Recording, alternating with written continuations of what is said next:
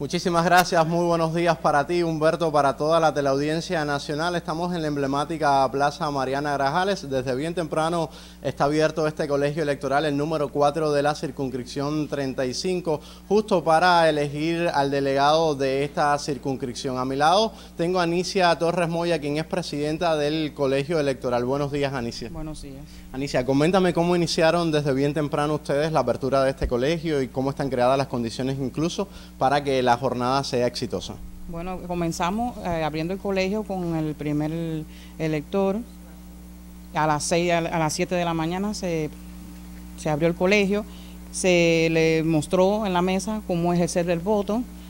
Luego pasó a, la, a ejercer el voto, echar la, la, boleta. en la urna, donde luego eh, se le tomó la, su firma como que fue el primer elector que votó y de ahí me, dice usted que, está nerviosa, pero, pero... Es la primera vez que ejerzo como presidenta porque nunca lo había hecho y espero hacerlo lo mejor que pueda. ¿Qué significa para usted ser presidenta de este colegio electoral? Bueno, para mí significa muchísimo porque primero que nada eh, es eh, de aquí sale elegido el delegado que nos va a representar en la Asamblea Municipal del Poder Popular y va a plantear nuestra situación, nuestros problemas, nuestras problemáticas, nuestras situaciones y preocupaciones que podamos tener como, como sus electores. Y además porque es un proceso democrático que se inició con la nominación de los delegados en las diferentes asambleas de nominación, ¿verdad? Sí, cómo no, es, completamente un proceso democrático a nivel nacional, yo diría que a nivel mundial. ¿Cómo van a cerrar ustedes este colegio? ¿Qué tienen preparado incluso para, la jornada una vez que cierre el colegio?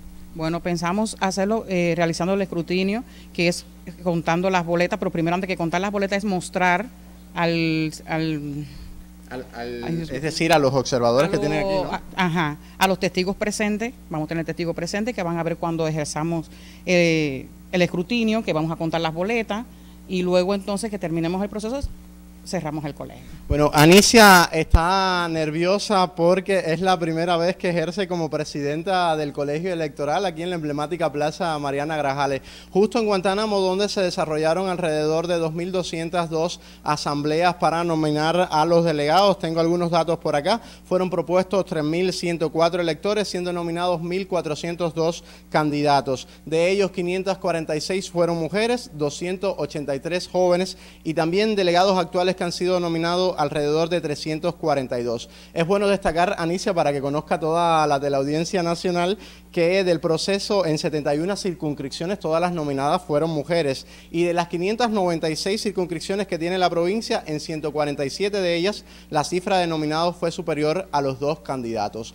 Eso es lo que está ocurriendo en Guantánamo. Me informan que ya han votado las principales autoridades de nuestro territorio. En próximos contactos vamos a estar ofreciendo detalles también, detalles de lo que ocurren en los municipios del Plan Turquino, sobre todo con los radios aficionados, que son las personas que logran la comunicación en las zonas de difícil acceso. Llevaremos varias informaciones de equipos de prensa que tenemos en los diferentes colegios electorales de nuestra provincia. Todo está listo en los 10 territorios, sobre todo Humberto, hoy que en Baracoa se está cumpliendo el 530 aniversario de haber sido visto por primera vez el yunque de Baracoa, la emblemática montaña que tiene 500 metros de altura sobre el nivel del mar por Cristóbal Colón, un 27 de noviembre de 1492. De esta manera yo estoy devolviendo la señal a los estudios centrales. En próximos reportes, espacios informativos, vamos a estar ofreciendo detalles de lo que ocurre en los 10 municipios guantanamero. Tengan excelente jornada, Humberto, y nos vemos en próximas transmisiones.